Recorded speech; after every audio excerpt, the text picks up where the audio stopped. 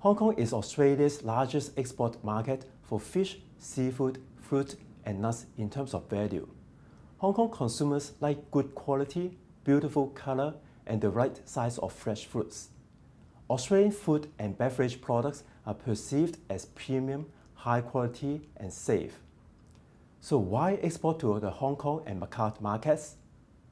Hong Kong has a population of 7.1 million and more than 48 million visitors every year with GDP of over 280 billion Australian dollars.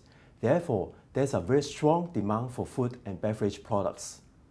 Over 500,000 tons of seafood were consumed in Hong Kong every year, which averages out to over 70 kilo of seafood per person in a year. Hong Kong remains an important trading hub where buyers from overseas would come to source food and beverage products. The expansion of the casino and hospitality sector in Macau has created a very high demand for safe, natural, organic food and beverage products. Hong Kong and Macau are both open markets to all supplies in the world.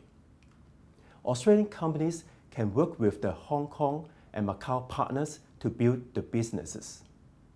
Quick turnaround time within 48 hours is a key success.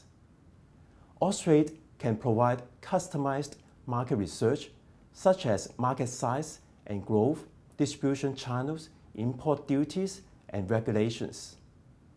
We also offer business facilitation services with potential agents and distributors in Hong Kong and Macau, working closely with importers, retailers, trade and government organizations for various activities. If you want to export your products and services to Hong Kong and Macau, Austrade is here to help you.